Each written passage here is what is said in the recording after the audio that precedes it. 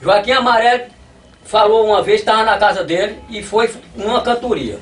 Aí a mãe dele chegou e ele estava afinando a viola. Quando ele afinou a viola para cantar, chegou a mãe dele. Ele disse, tá vendo aquela velhinha que entrou aqui agora?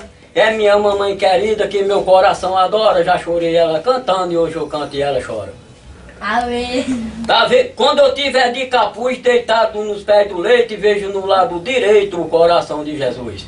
Levo no braço da cruz meu nome escrito em latim, que já foi meu triste fim, foi o bem que eu te queria. Será que possível um dia tu não se lembra de mim?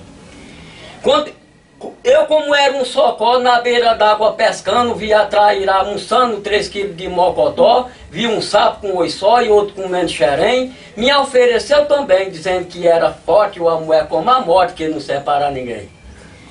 Bonito ver a pancada do pica-pau na madeira, batendo na casca grossa, numa vida aroeira, para construir seu ninho, morar nele a vida inteira. Cabo para cantar comigo precisa ter muito estudo, pisar no chão devagar e medir os passos miúdos, metade acordar cedo e dar definição de tudo. Tá?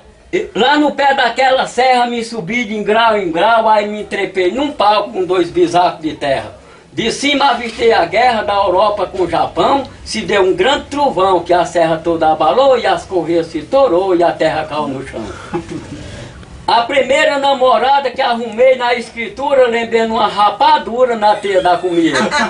Peguei minha baleeira para tirar na infeliz, errei, bateu num concris, beliscando um pé de um pato, diz um coração ingrato, mas foi o mal que tive. Esta namorada não fui eu. Ô Bernardo, mas já, já acabou, Bernardo. Tem umas aqui mesmo muito longe, muito, muito difícil, um pé quebrado. Arrumei uma namorada, com ela não me casei, com ela gastei dois mil réis. Eu também lhe emprestei dez, ainda não recebi, faz de conta que perdi de vista. Tá vendo? Agora essa música é assim mesmo.